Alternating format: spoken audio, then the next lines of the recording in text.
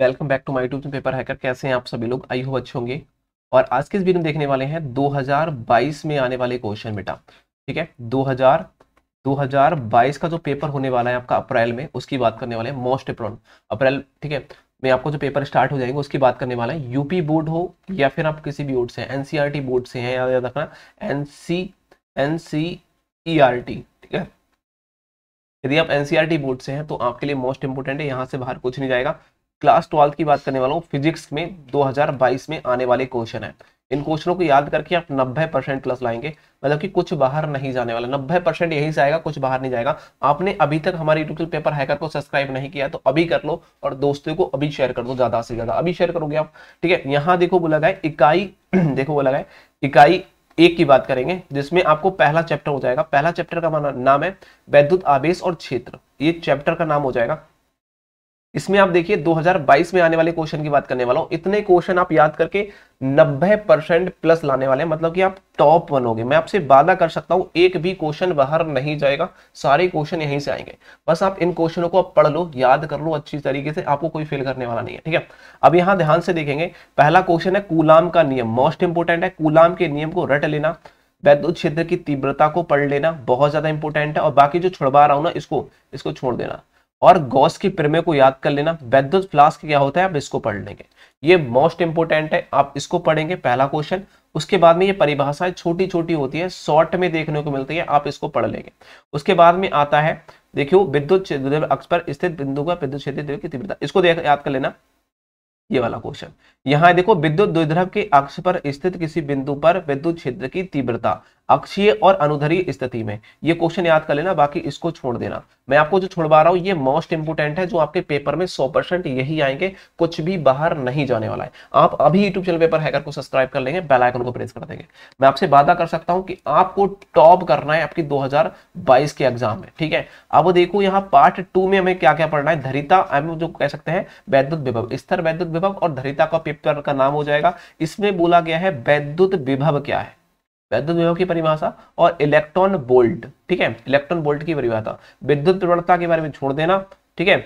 और उसके बाद में वैद्युत धरिता को पढ़ लेना मोस्ट इंपोर्टेंट है। वैद्युत धरिता मोस्ट इंपोर्टेंट अब इसको छोड़ देंगे, ठीक है? अब जो बॉक्स में बंद कर रहा हूँ, बस वही पढ़ोगे आप, बाकी कुछ नहीं पढ़ोगे, याद रख लेना, ठीक है? अब यहाँ कह रहा है, देखो, ये विद्युत अक्ष पर हिंदू देखो, विभव के बारे में पूछ रहा है। तो यहाँ देखिए अनुधरिए छोड़ में, इसमें छोड़ दीजिए क्वेश्चन इसको छोड़ो। अब मैं जो बता रहा हूँ, उसको रट लेना। इसको बोला गया आवेश कह सकते हैं संद्रित की ऊर्जा क्या होती है, इसको आप पढ़ लेना है, ठीक है? और इसमें बोला गया है कि विद्युत द्रव के अक्षीय रेखा पर स्थित बिंदु पर विद्युत द्रव, इसको पढ़ लेना, ठीक है? इसको आप को याद कर लेना, इस क्वेश्चन को मोस्ट इंपोर्टेंट है। उसके बाद में आता है समांतर प्लेटें संयंत्र की धरिता का निगमन, ये मोस्ट इंपोर्टेंट है। इसमें आप इतना क्वेश्चन पढ़ेंगे। बस इतना आपको पढ़ना है। अब चैप्टर खत्म हो गया दूसरा अब तीसरे चैप्टर पर टिक लगाएँगे बेटा क्या क्या पढ़ के जाना है 2022 के एग्ज़ाम में। तीसरा चैप्टर है पार्ट तीन है यहाँ देखो धारा दे रखा है इकाई दो पहुँच के धारा के चैप्टर में पढ़ना है देखो यहाँ बोला गया वैद्युत धारा की परिभाषा। ठीक है और आ, कह सकते हैं श्रंति काल क्या होता है श्रंति काल की परिभाषा ठीक है गतिशीलता की परिभाषा टर्मिनल विभंतर की परिभाषा धारा घनत्व की परिभाषा ठीक है और अनुगमन वेग क्या है अनुगमन वेग अनुगमन को अनुगम देखो अब्वाह बेग को अनुगमन बेग भी बोलते हैं, उसमें संबंध पूछा गया है। साथ ही साथ किरचॉफ के नियम को याद कर लेना मोस्ट इंपोर्टेंट है। वीट स्थित सेतु को आप याद करेंगे और विभव मापी को याद करेंगे। बाकी आप इसमें कुछ नहीं देखेंगे। अब चैप्टर नंबर चार में आ जाइए। चैप्टर नंबर चार में आप क्या पढ़ेंगे? अब तक आपने चैनल को सब्सक्राइब नहीं किया तो कर लीजिए वीडियो को लाइक कर दीजिए। 2022 में यही क्वेश्चन छप रहे हैं। अब यहाँ देखिए गति, यहाँ कह रहा है गतिमान आवेश और चुंबक की बात करने वाला है। यहाँ बोला गया है चुंबकीय क्षेत्र के बारे में बायोसेवर्ड के नियम की परिभाषा। बायोसेवर्ड अच्छी तरीके से पढ़ लेना, चुंबकीय क्षेत्र की परिभाषा बायोसेवर्ड के नियम। और कह रहा है वृत्तिकार धारावाही कुंडली के बारे में, लॉरेंज बल क्या होता है? मोस्ट इंपोर्टेंट है। दो समांतर तारों के बारे में छोड़ देना, कोई दिक्कत नहीं है। ठीक है? एम्पियर की परिभाषा पढ़ लेना, मोस्ट इंपोर्टेंट है। धारा संग्नित्रा क्या होती है? इसको पढ़ लेना। वृत्ताकार धारावाहिक कुंडली के अक्षय क्षेत्र और चुंबक क्षेत्र के बारे में पढ़ लेना। और उसके बारे में, इसके बाद आयताकार आगोल के बारे में छोड़ देना, इसको मत पढ़ना। उसके बाद में आप चोक कुंडली की धारमापी का सिद्धांत आपको ये पढ़ लेना है। ठीक है, छोड़वा रहा हूँ, वही बता रहा हूँ जो मोस्ट इंपोर्टेंट है, आपके पेपर में छप रहा है, याद रखना। नेक्स्ट क्वेश्चन को देख लीजिए। यहाँ बोला गया लेसन पाँच में चैप्टर नंबर पाँच में देखेंगे विद्युत चुंबकत्व के बारे में। इसमें भूचुंबक की परिभाषा और उसके अवयव के बारे में पढ़ेंगे। चुंबकीय क्षेत्र की परिभाषा, नीति कोण क्या होता है और दिग्पात का कोण क्या होता है। आप इतना पढ़ेंगे, बाकी इस चैप्टर में कुछ नहीं पढ़ना है। उसके बाद में छठा चैप्टर आपका आ जाता है। इस चैप्टर में हम पढ़ेंगे वैद्युत चुंबकीय प्रण के बारे में, जो दो हज़ार बाईस के लिए मोस्ट इंपोर्टेंट है। यहाँ बोला गया है, वैद्युत चुंबकीय प्रण क्या होता है? उसके बारे में लॉरेंज नियम के बारे में स्वप्रतव के गुणांक के बारे में स्वप्रतव की परिभाषा और स्वप्रतव गुणांक के बारे में। अन्य प्रतव क्या होता है? अन्य गुणांक के बारे में। चुंबकीय फ्लास्क में ऊपर बता चुका हूँ तो यहाँ छोड़ देना। फेराइडे के विद्युत चुंबकीय प्रण के नियम, उसकी उत्पत्ति कैसी हुई है? ये मोस्ट इंपोर्टेंट है और भम्मर धाराओं के बारे में पढ़ लेना बाकी सब कुछ छोड़ देंगे। उसके बाद में सातवें चैप्टर में आ जाएँगे प्रतिवर्ती धारा। प्रतिवर्ती धारा में कह सकते हैं, प्रण प्रतिघात क्या होता है? प्रतिघात क्या होता है? और प्रतिवर्ती धारा का रेखरमान इसको छोड़ दीजिएगा और वर्गमान मूल मान को आप देखो वर्गमद मूल मान को याद कर लेना। और डायनमो का सिद्धांत आप पढ़ लेंगे। डायनमो का सिद्धांत मोस्ट इंपोर्टेंट है। डायनमो का सिद्धांत। चोक कुंडली को पढ़ लेना। ट्रांसफ़र के सिद्धांत को पढ़ लेना। अनुवाद परिपथ को छोड़ देना। ठीक है? चल। उसके बाद में आठवें चैप्टर में आ जाइए। आठवां चैप्टर आता है विद्युत चुंबकीय प्रण के बारे में। इसमें हमें देखना है मैक्सवेल की समीकरण के बारे में। और उसके सिद्धांत के बारे में, ठीक है? और विद्युत चुंबकीय तरंगे स्पेक्ट्रम की व्याख्या स्पेक्ट्रम की व्याख्या के बारे में पढ़ लेना। और बाकी विद्युत चुंबकीय तरंगे इसके गुणों के बारे में छोड़ देना है। बस, मैक्सवेल की समीकरण most important very very most important में लगा देना। उसके बाद में है, हमारा, देखो लेसन आ जाता है नमा। अब लमा लेसन में क्या है? देखो, क्रांति कोण क्या होते हैं? लेंस क्या होता है? न्यूटन के सूत्र प्रिज्म क्या होता है? प्रिज्म कोण के बारे में।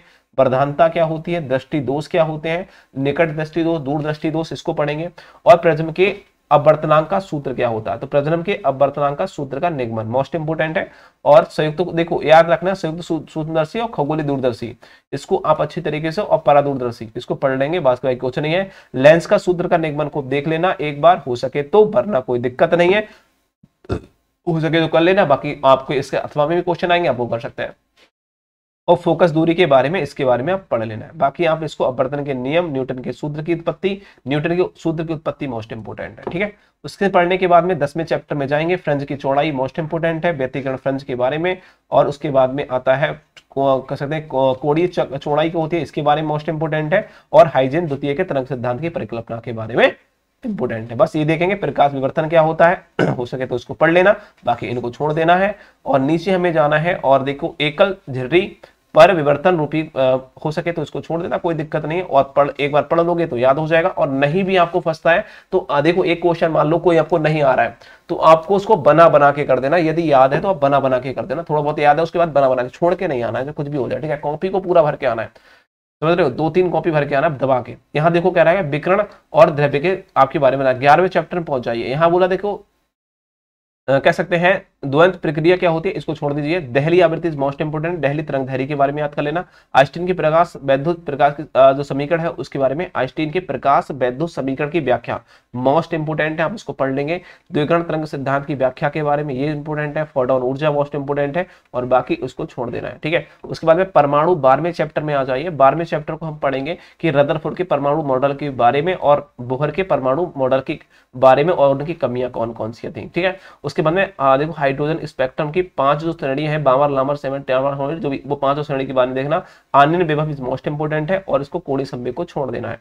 उसके बाद में यहाँ देखिए, तरंगार क्या होते हैं? तरंगार के बारे में पढ़ लेना। सॉरी ये तो मैंने आपको देखो, दसवां चैप्टर में पहले करा चुका हूँ तो यहाँ छोड़ देना है, क्योंकि हमने ये दसवां चैप्टर पढ़ चुके हैं। ग्यारहवा, बारहवा परमाणु वाला पढ़ लिया है। अब यहाँ देखो, तेरहवा चैप्टर में आ जाइए। तेरहवा चैप्टर हमारा नाभिक वाला आ जाता है। तेरहवा चैप्टर नाभिक है और नाभिक में हम क्या करेंगे बेटा? नाभिक में देखो, परमाणु क्रमांक क्या होते हैं? द्रव्यमान संख्या को छोड़ दीजिएगा। नाभिक बल क्या होता है? नाभिक की बंधन ऊर्जा को याद कर लेना। नाभिकीय विखंडन और नाभिकीय संलयन मोस्ट इंपोर्टेंट है। समर्थानिक, संवाद और सम्यूटिक की परिभाषा को देख लेना। द्रव्यमान ऊर्जा का संरक्षण नियम याद कर लेना। बाकी इसको छोड़ देना है। उसके बाद में चौदहवें चैप्टर में जाएँगे। चौदहवें चैप्टर में हम पढ़ेंगे बेटा। देखो, चौदहवें चैप्टर में देखेंगे बॉन्ड ऊर्जा बॉन्ड क्या होता है? सोजी बॉन्ड क्या होते हैं? एलईडी मोस्ट इंपोर्टेंट है। और उसके बाद में लॉजिक गेट को पढ़ लेंगे। और पीएनपी सिंधी डायोड और N and gate OR gate और नॉट गेट इनको आप गेट को पढ़ लेना मोस्ट इंपोर्टेंट है। चालक और अचालक और अर्धचालक के बारे में आप पढ़ेंगे, ठीक है? उसके बाद में हम नीचे जाएँगे शॉर्ट सेल क्या होता है आप इसको पढ़ेंगे एनपीएनपी संधि डायोड और एनपीएन संधि डायोड के बारे में पढ़ेंगे। बाकी सबको छोड़ देंगे, ठीक है? अब ये था क्वेश्चन 2022 में आने वाले क्वेश्चन जो मैंने आपको पूरा कंप्लीटली करा दिया। तेरह चैप्टर थे, तेरह चैप्टर के बारे में आप इतना पढ़ेंगे फिजिक्स में, बाकी आप कुछ नहीं देखेंगे। तो ज़्यादा से ज़्यादा वीडियो को शेयर कर देना, कोई दिक्कत है तो कमेंट बॉक्स में पूछ सकते हैं। मैं आपसे वादा करता हूँ कि यहाँ से बाहर कुछ नहीं जाएगा इंटर में दो हज़ार बाइस में आने वाले क्वेश्चन है, बस इतना आप याद कर लीजिए, बाकी कुछ पढ़ने की ज़रूरत नहीं है। Thank you for watching video bye bye channel को सब्सक्राइब कर लेना। और नब्बे प्लस आपकी फंसेगी, मैं आपसे वादा कर सकता हूँ। और पेपर जैसे ही होगा, मैं तुरंत आपको करके दिखाऊँगा कि देखो भाई, ये क्वेश्चन ही आया और मैंने जो बताए थे। तो चैनल को भी सब्सक्राइब कर लेना बेल आइकन प्रेस कर देना। Thank you bye bye